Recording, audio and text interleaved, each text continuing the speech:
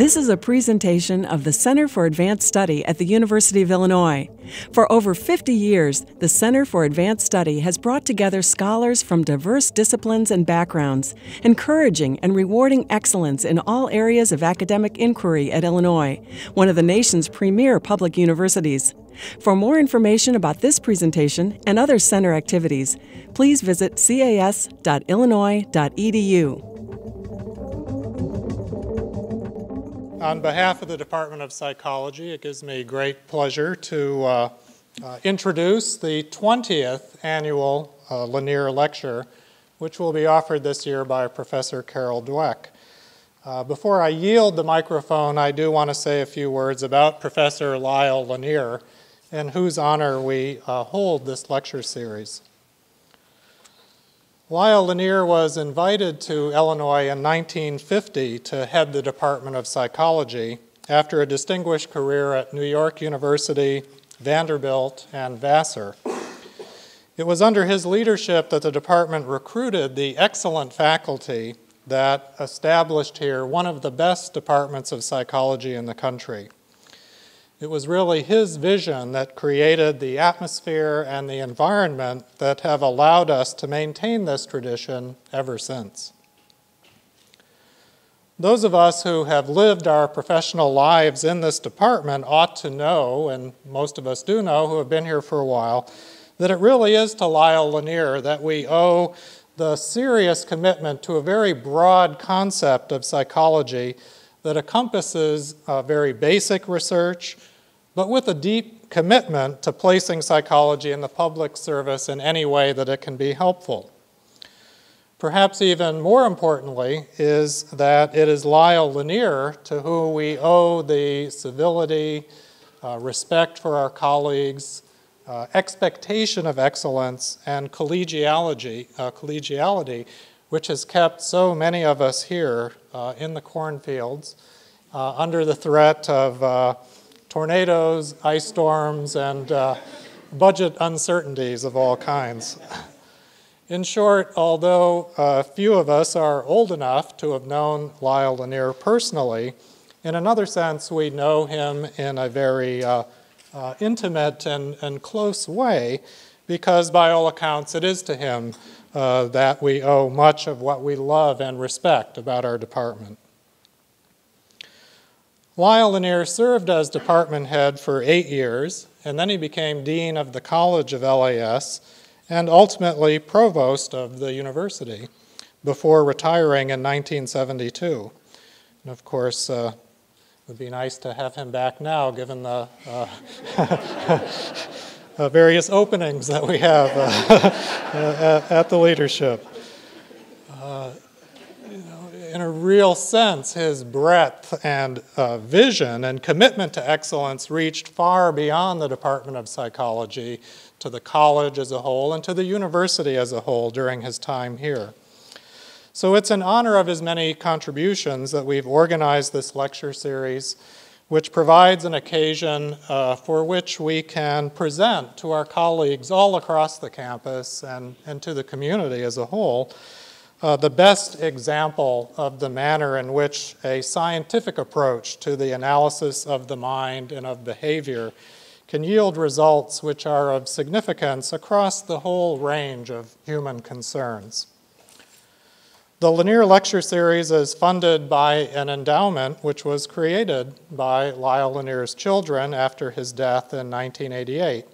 So I'd like to take this opportunity to thank uh, Lyle's uh, daughter, Kathy Lemon, and her husband, L. Jean Lemon, who are here tonight, if you wouldn't mind standing and waving at the crowd.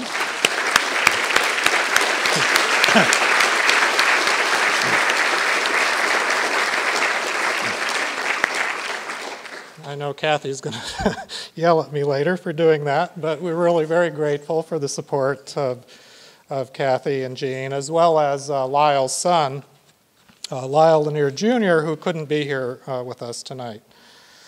Well, the, the broad interest in this series and in this evening's lecture are manifested by the long list of sponsors, and uh, I must uh, thank them. They include the Child Development Laboratory, the Clearinghouse on Early Education and Parenting, uh, the Family Resilience Center, School of Labor and Employment Relations, School of Social Work, Spurlock Museum, and the departments of Business Administration, Educational Psychology, Human and Community Development, Kinesiology and Community Health, and Sociology. This gives you an idea of, of how interesting uh, the topic is tonight.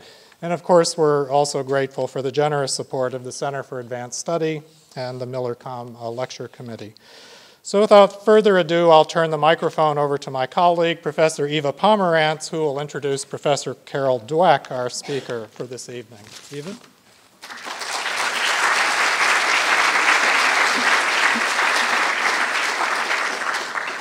Well, it's a real pleasure to have the opportunity to introduce Carol Dweck tonight. She's currently the Lewis and Virginia Eaton Professor of Psychology at Stanford University.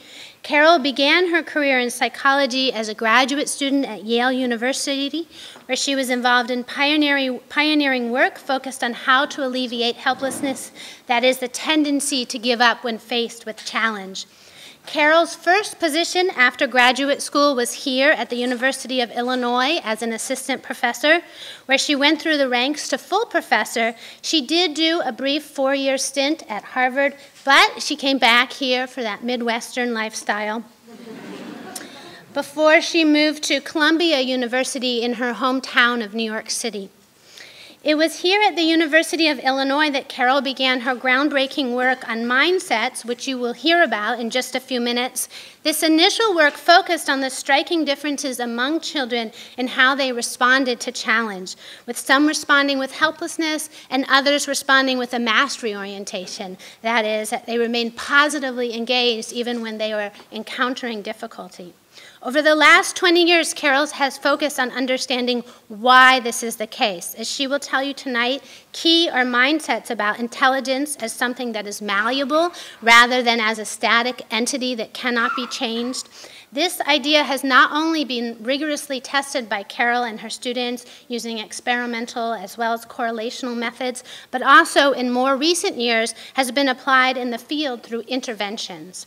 Carol's ideas have been adopted by countless others within and outside of the field of psychology for understanding a range of phenomena beyond motivation.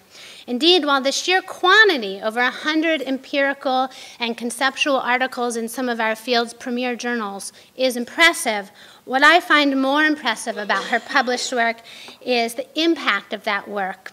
It's heavily cited by scholars and frequently covered in the mainstream media.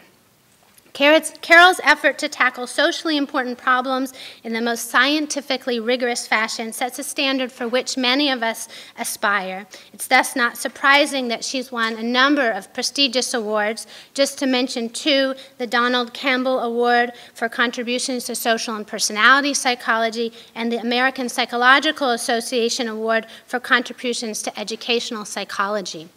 Lest you think Carol has achieved so, so much at some interpersonal cost, let me also add that she's a fabulous person as well. Many appreciate her support, her company, and her charm. So it is a real privilege to have Carol here to share her research with us tonight. Um, and please join me in welcoming her.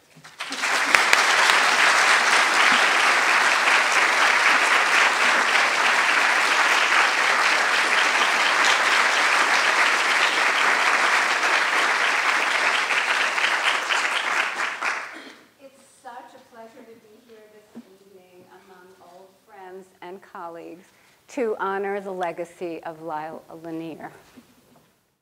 I'd like to start with a quote from an eminent and wise political scientist, Benjamin Barber. He said, I don't divide the world into the weak and the strong, or the successes and the failures. I divide the world into the learners and non learners. Why would anyone become a non learner? We're born with the most exuberant, irrepressible desire to learn. You never see an unmotivated baby.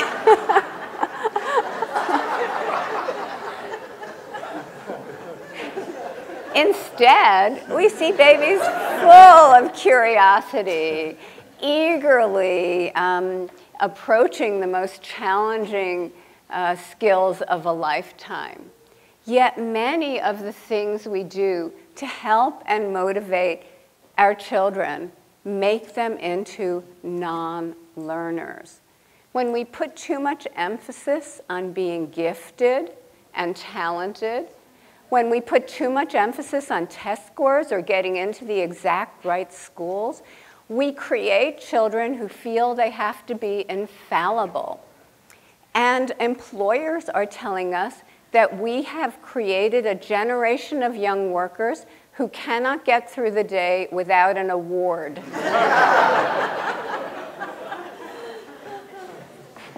so, how do we make sure that our children remain learners.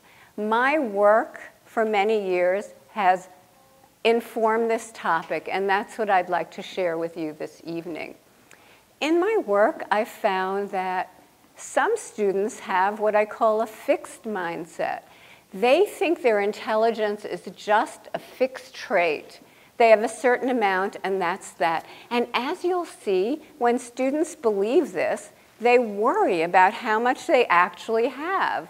And before they take on a challenge, they, they worry. Am I going to look smart when they hit obstacles? They think, am I going to look dumb? And this curtails their learning over the long run. But when students have a, a growth mindset, they believe that their intelligence is malleable. It's a potential that can be developed through their effort, dedication, through instruction. Now, they don't believe everybody's necessarily the same or that anyone can be Einstein. But they understand that even Einstein wasn't Einstein before he put in years and years and years of dedicated practice. So, in the growth mindset, talent is a starting point, it's not the end all and be all. I'm often asked which mindset is correct. And what's so exciting is that more and more research from cognitive psychology and neuroscience is showing that the fundamental components of intelligence can now be taught. Once we understand what they are, they can be trained, and not just in kids, but in adults as well. Does a person hold the main, same mindset in different life arenas? Not necessarily. Someone can think their athletic skills can be developed, but their in- intellect is, is static. Or even within intelligence, they can think math, whoa, that's fixed. But uh, language skills can be developed, or vice versa. Whatever they believe in a particular domain will affect their motivation in that domain. Can mindsets be changed? Yes. And I'll talk about that later, but I think it's such an exciting and important thing about human personality and behavior. It can be really stable when left to itself. But when we really understand something like a mindset, we can go in and tweak it, and we can then see all the ramifications. How do mindsets work? They work by creating an entire psychological world for the individual where everything has a different meaning. And I'm going to explain the mindsets in terms of the mindset rules. Rule number one in a fixed mindset, it's look smart at all times and at all costs. Because if it's fixed, you better have it. Whereas in a growth mindset, where the whole idea is developing your intelligence, the cardinal rule is learn, learn, learn.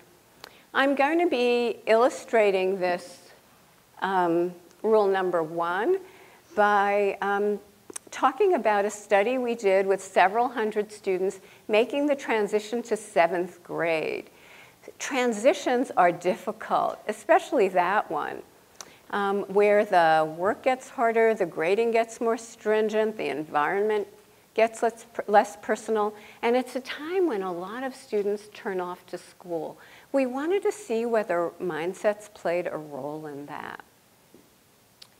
And so we measured their mindset at the beginning of seventh grade to see whether they thought intelligence was fixed or something that could be cultivated. We measured a lot of other things, and then we monitored their grades over the next two years, especially in math, because that's where a lot of students get off the academic train. And what, the first thing we found was look smart versus learning.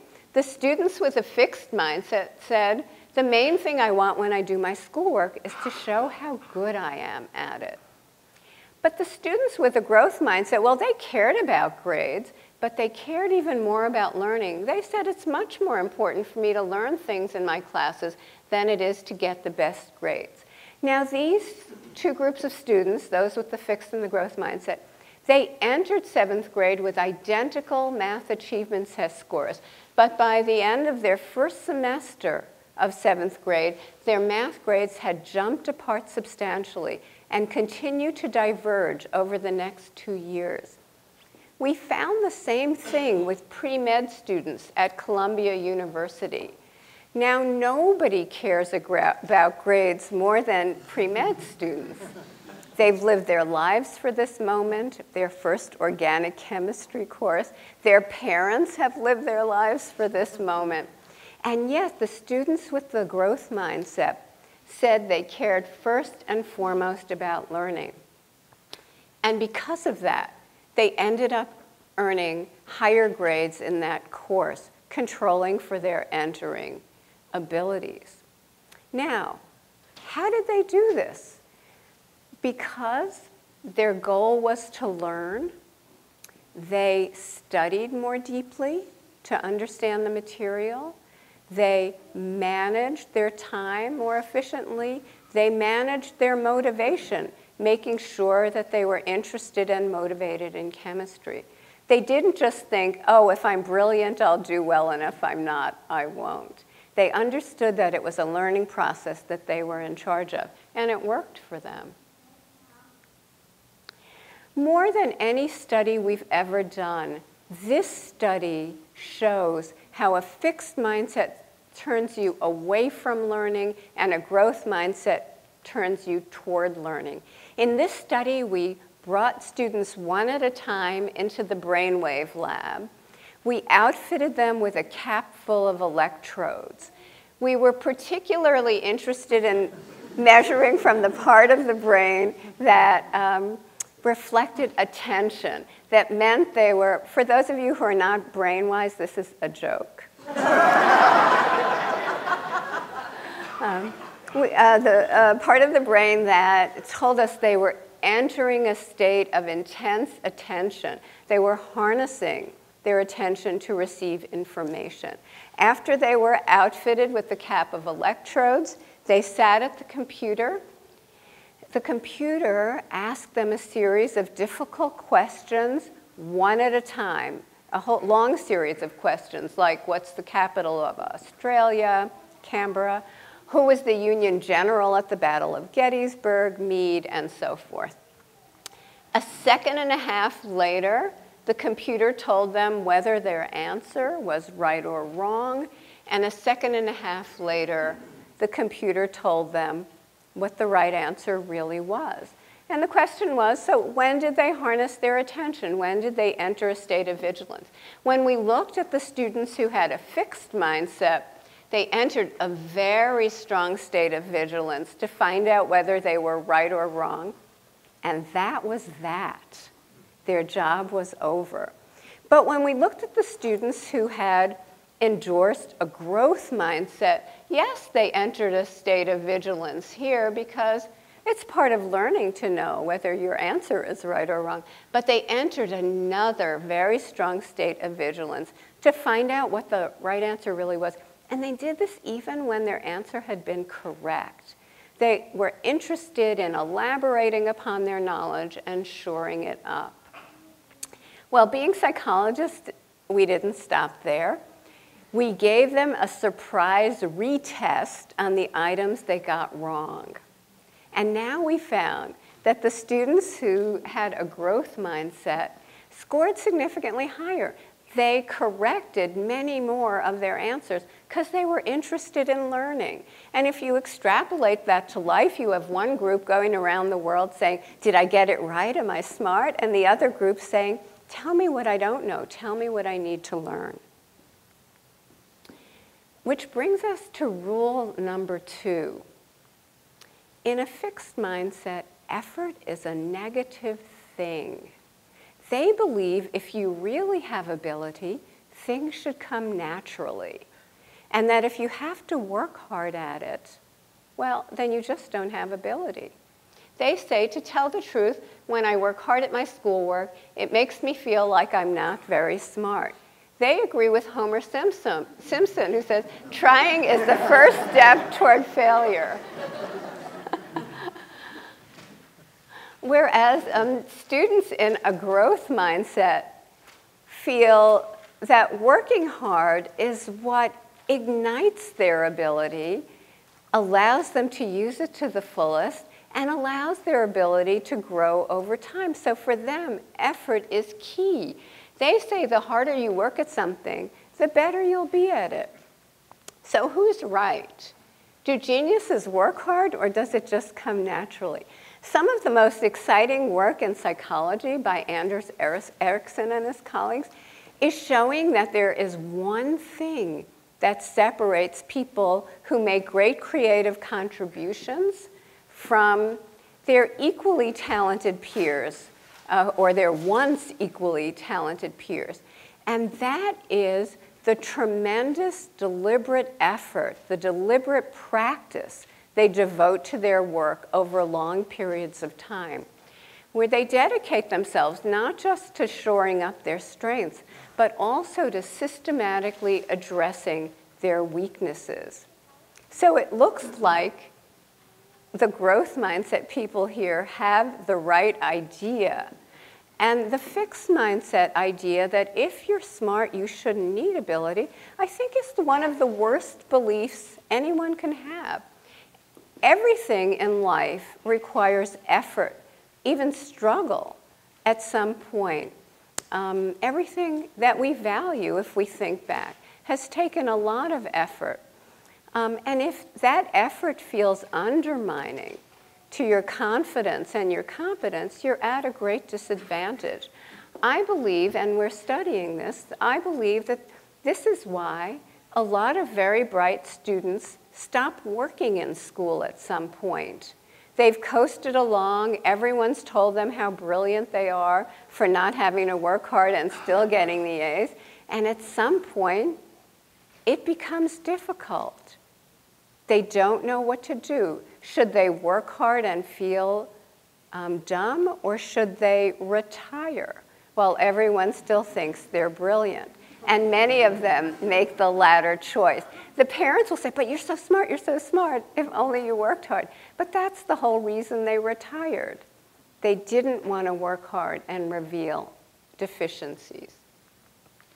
Rule number three in the face of setbacks, in a fixed mindset, it's hide your mistakes, conceal your deficiencies because they're permanent. Whereas in a growth mindset, it's capitalize on your mistakes, confront your deficiencies, and take steps to remedy them. In a fixed mindset, the reason the um, one wants to conceal deficiencies is because, as I mentioned, it takes on this particular meaning of being permanent. Okay. Uh, in our transition to junior high study, those in the fixed mindset said, I'd spend after, oh, after a disappointing, don't look ahead, after a disappointing grade on a first exam in a course, they said, I would spend less time on this subject from now on. I would try not to take this subject ever again. It's the first exam in a new course, and I would try to cheat on the next test. Well, think about it. If a failure means you lack ability and you don't see effort as effective or desirable, what are the choices left for you? Whereas in a growth mindset, they said I'd work harder in this class from now on. I'd spend more time studying for the tests. Over and over, in years and years of research now, we've seen that a fixed mindset gives students no good recipe for recovering from setbacks. They give up and retreat to their comfort zone, they blame others, or they find someone who did worse than they did to feel superior to. But none of these None of these make them a learner. All of these strategies are for non learners. Where do mindsets come from? We've studied this in a large number of ways, but probably the most interesting way is through the praise that adults give to children. Our language, our praise towards children, tells them what we believe and what we value in them. And maybe the most important thing I've learned from all of my research is how exquisitely tuned in children are to what adults value. We're social beings. We absorb that like sponges. Now, I undertook this research on praise at the height of the self esteem movement. This is the, um, the needlepoint mantra of the self esteem movement. and they were telling everybody parents, teachers, employers, whatever praise as lavishly and as broadly as you can.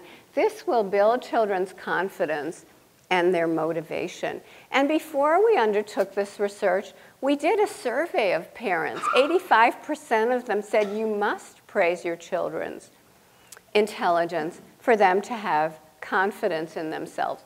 But we said, wait a minute, we've been studying um, vulnerability and resilience for years now, and it's the vulnerable children who are overly focused on their intelligence, worried about how smart they are.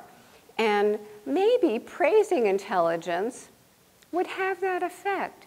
It would put them into a fixed mindset. It might tell them, I can look at your performance and know something about that intelligence deep down inside of you.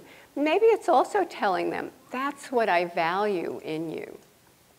Well, the great thing about research is you can form these hypotheses and put them to the test. So we did. Um, in this set of studies, these were with uh, young adolescent students. We've done it with kids as young as four and a half, with Andre Cimpian here. Um, but I'll tell you about the studies with these um, 10, 11 year olds um, because they illustrate the phenomenon, I think, best. By the way, the results we got were so striking, we did the study over five more times, and we just kept getting the same results. In these studies, we brought children in one at a time to a room in their school. We gave them a set of 10 problems from this nonverbal IQ test. You fill in the matrix going across and down with the one from the bottom that correctly completes it. After they completed the 10 problems and they did pretty well. They were, um, each child was given one form of praise. A third of them were given intelligence praise. Wow, that's a really good score. You must be smart at this.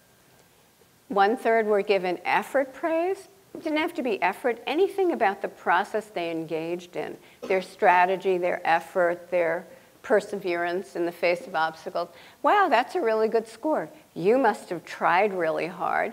And a third group um, was the control group. Wow, that's a really good score. And I won't talk much about them. They tended to be in the middle. What happened? The first thing was yes, indeed.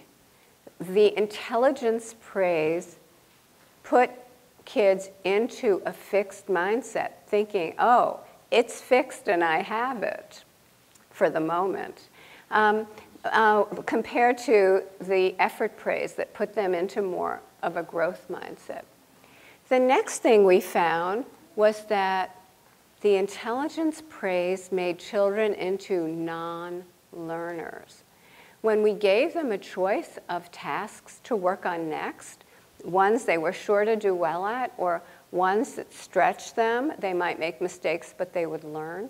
The majority of children praised for intelligence chose the task where they could keep on looking smart and they wouldn't make mistakes. Whereas the overwhelming majority of the students praised for effort chose the difficult task that they could learn from. Later on in the session, we gave everybody a difficult task to work on. And what we found was that very soon into the difficult task, the confidence and the enjoyment of the children praised for intelligence evaporated because they thought if success means I'm smart, what does failure mean? They concluded they weren't smart at this after all. They didn't enjoy it any longer. How can you enjoy something that's telling you every moment you're not smart? Whereas the students praised for effort, remained engaged, remained confident, and continued to enjoy the task, many of them said the hard problems were their favorites. We then gave students a third set of problems, matched in difficulty to the first set, and look what happened.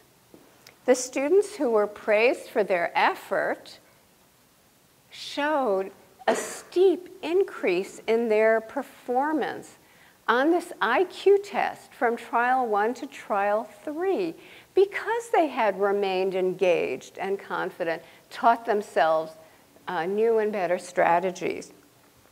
But the students who were praised for their intelligence showed a decline in their performance on this IQ test because having the fixed mindset made the struggle undermining.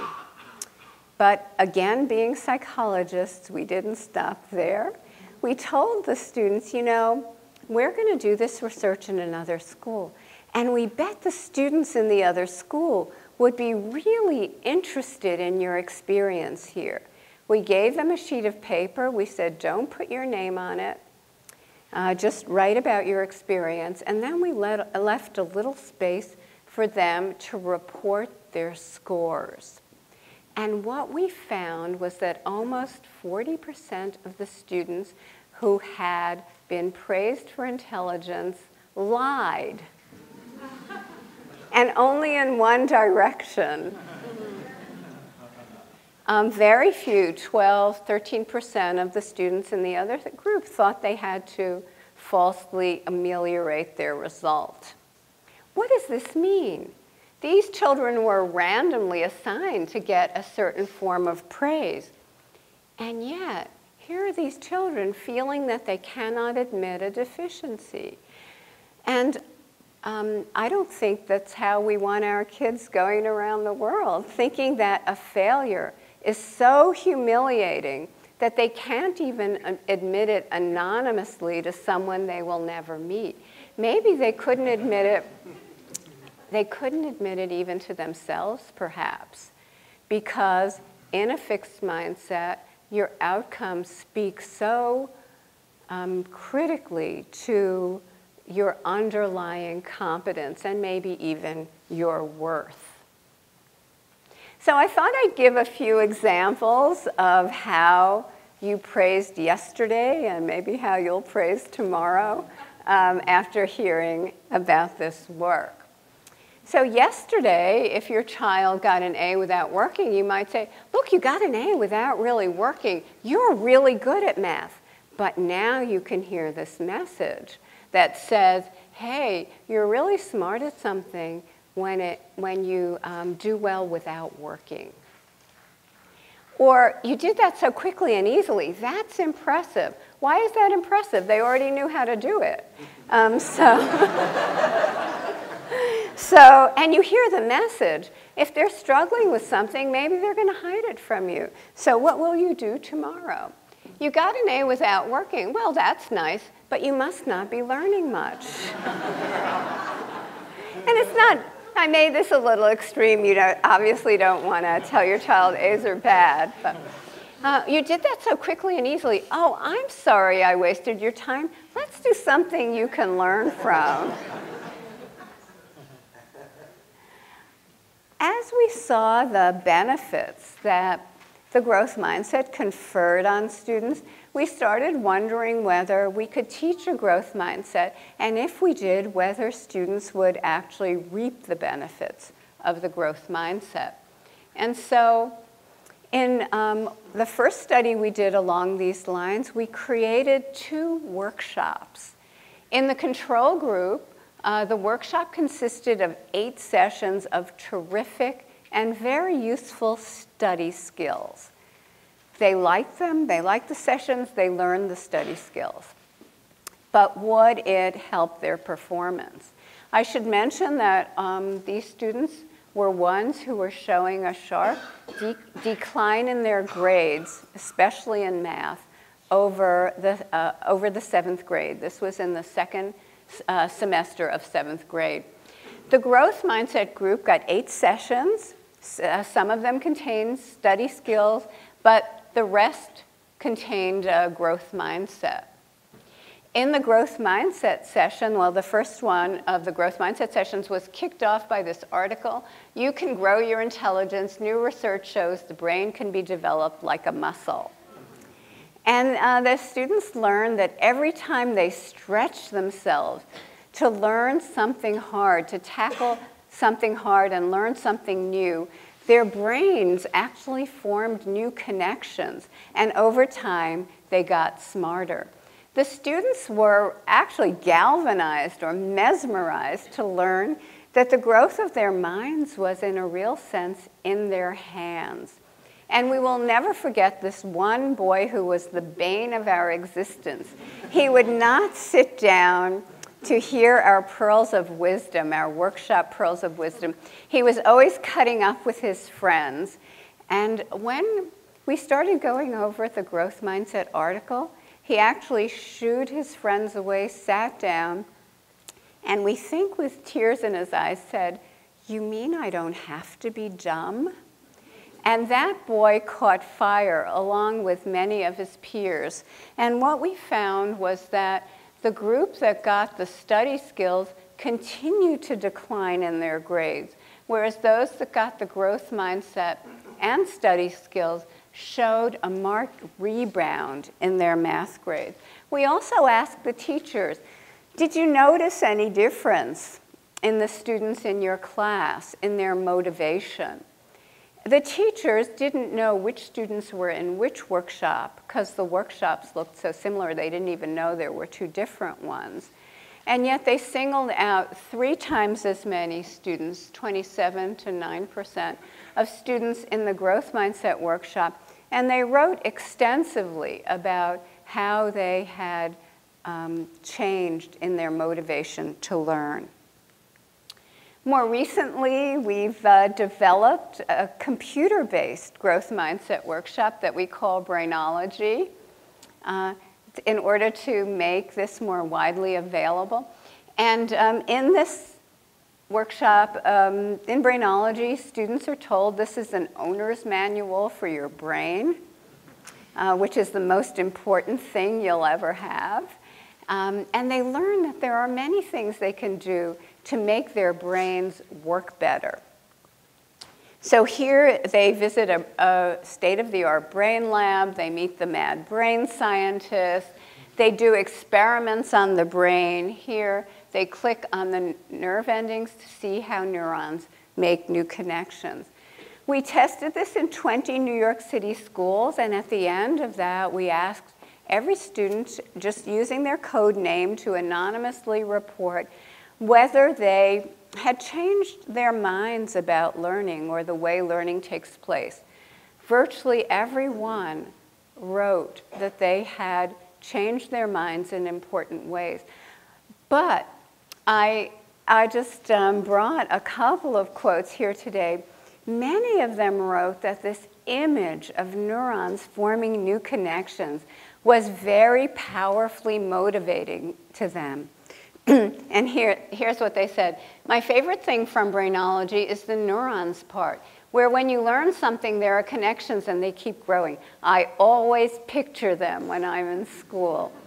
Yes, I imagine neurons making connections in my brain, and I feel like I am learning something.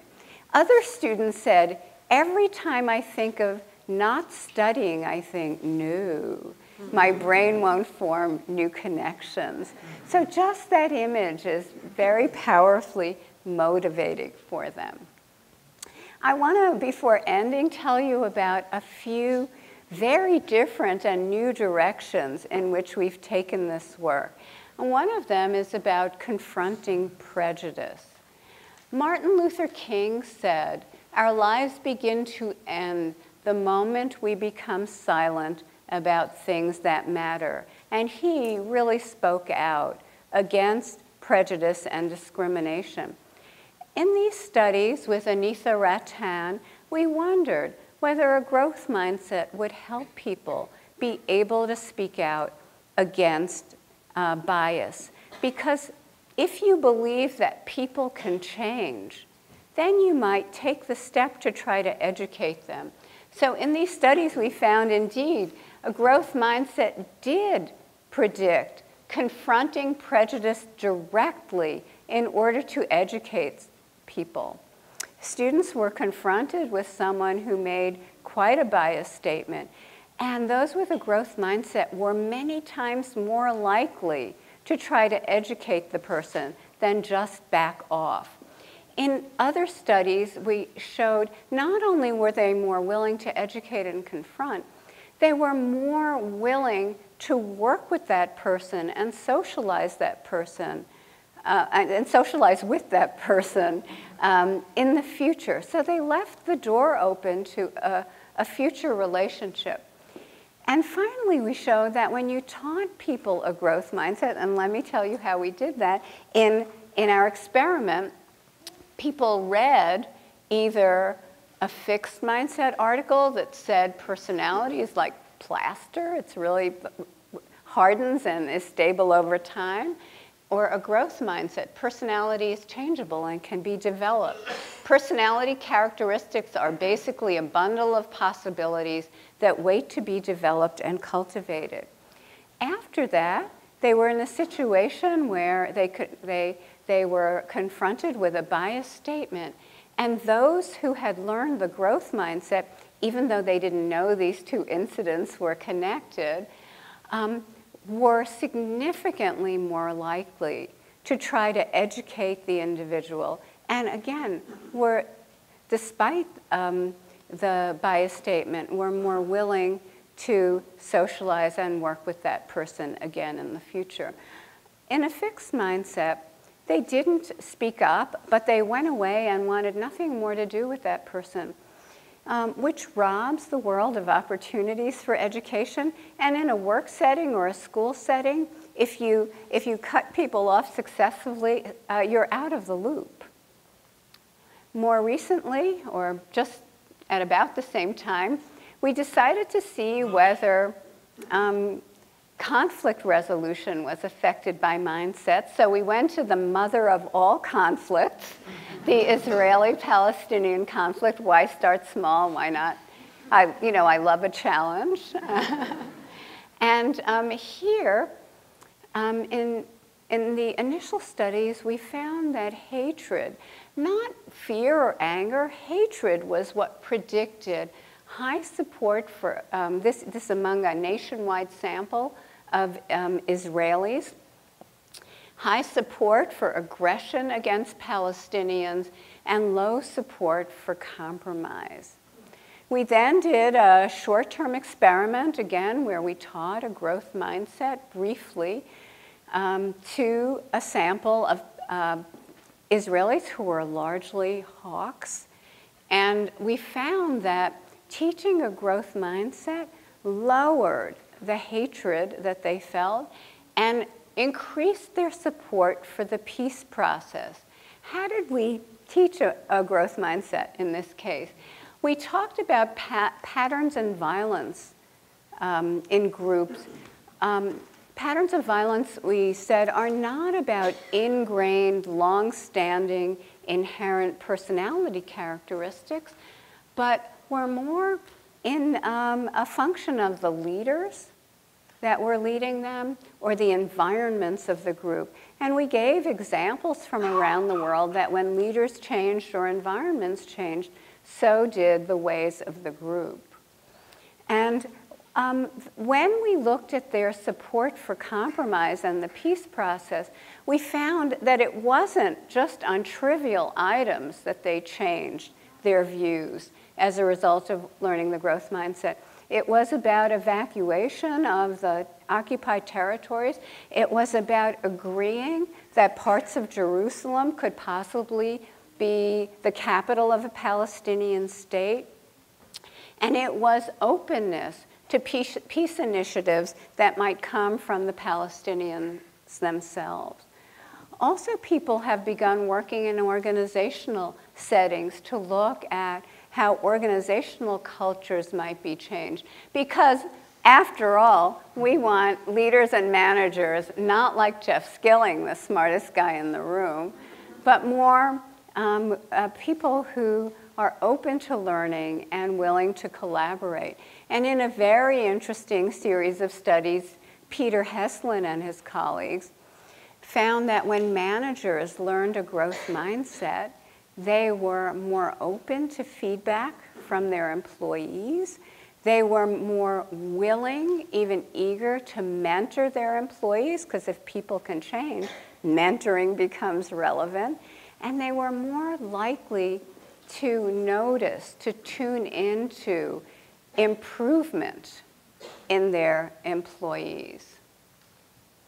Uh, recently, I collaborated with a professional uh, Major League Baseball team to devise questions they were interested in assessing the mindsets of their potential recruits, their draft choices.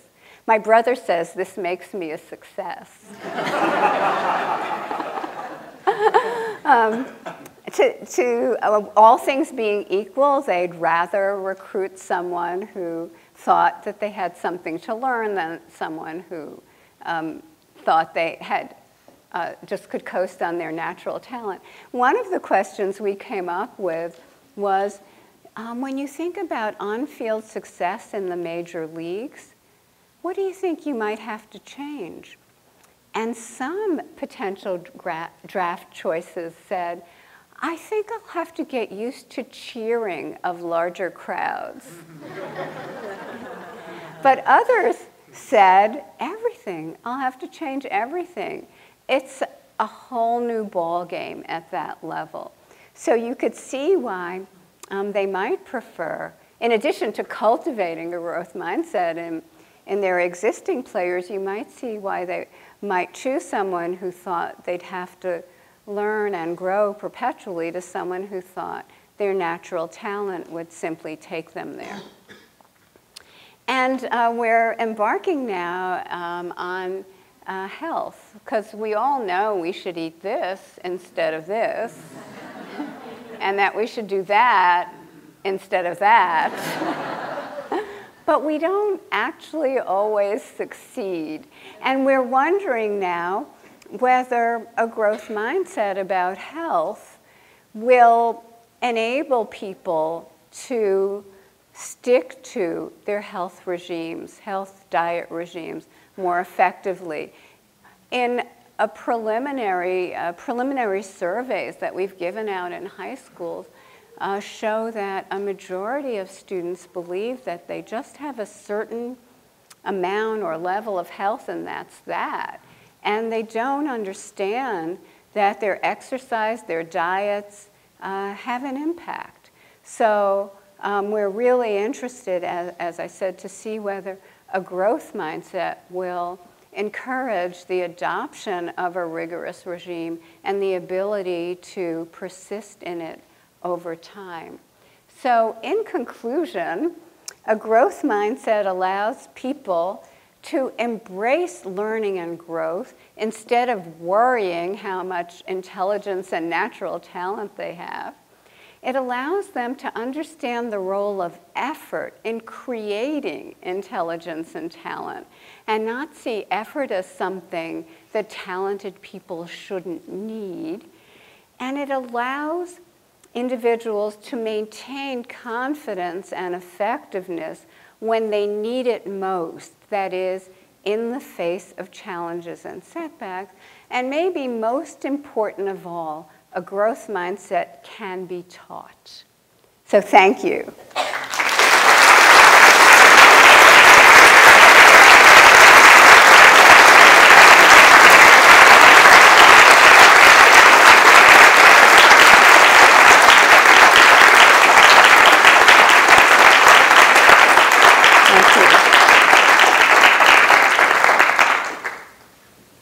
I'd be delighted to take questions. Are you going to moderate or should I just? Well, I think, is this where she said that? Oh, you have that. Okay, excellent.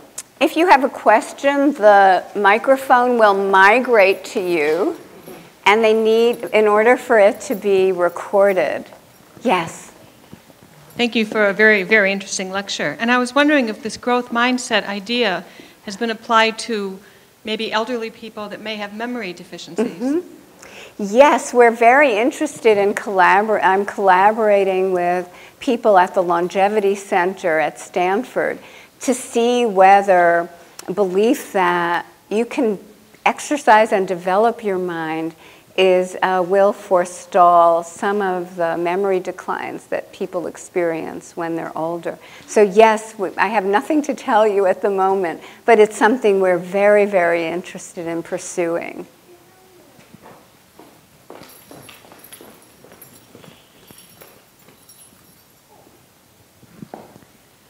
Thank you for the lecture. I have a, a question. Have you um, uh, investigated the growth mindset and uh, in uh, relation to gender? And if so, um, are there things that you could tell us about that? Yes, I can. And I'm so glad you asked that question because a very important point is that um, our research and other research is finding that if you are laboring under a negative stereotype, as say girls are in math and some sciences, it's particularly important to have a growth mindset.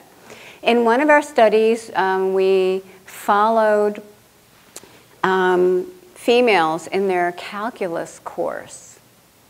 And we found that the females who had a fixed mindset, when they said they were encountering a lot of stereotyping, lost the sense that they belonged in math they um, showed significantly less intention to pursue math in the future, and their grades started suffering over the course of the semester. But when they had a growth mindset, they didn't like the stereotyping, but they, they didn't feel that that meant they didn't belong there. They still intended to take math, and their grades didn't suffer. So when you think about it, a negative stereotype is a fixed mindset label. It says it's fixed and your group doesn't have it. If you already have a fixed mindset and you find yourself struggling, you think, maybe they're right. But if you think it's learned, that the skills can be acquired, then you think, well, maybe historically my group didn't do as well, but maybe we weren't encouraged, people didn't believe in us, maybe we didn't believe in ourselves, but the, these are acquired skills and I'm going to acquire them. So you can see um, why it would be particularly important under those circumstances. And again, that's what research from several labs is supporting. So um, thank you for the uh, great lecture. One of the direct outcomes of praising the children is what we see in the public education system, where standards of the education are constantly lowered so kids can feel just good about themselves yes. simply because they've yes. performed well. So um, I don't know if you have an educational outreach program where the Department of Child and Family mm-hmm. Services can be taught about what your, yes. your findings are because it's critical yes. to the educational policies in the country. I think what you're saying is correct. It's another consequence of the self-esteem movement that parents, many parents, certainly not all parents, but many parents nowadays feel their child should not suffer for a moment. Their child should feel good about themselves and happy at all times. And um, they are not teaching their children to love challenges or um, cope with difficulty. They feel that they are handing their children self esteem on a silver platter, which our intelligence praise research shows that can't be done. What you can do is equip them with the skills to develop and maintain their own self esteem through love of challenge, persistence in the face of obstacles, appreciation and enjoyment of effort. So that's just key, and that's I'm doing my best to get the word out there.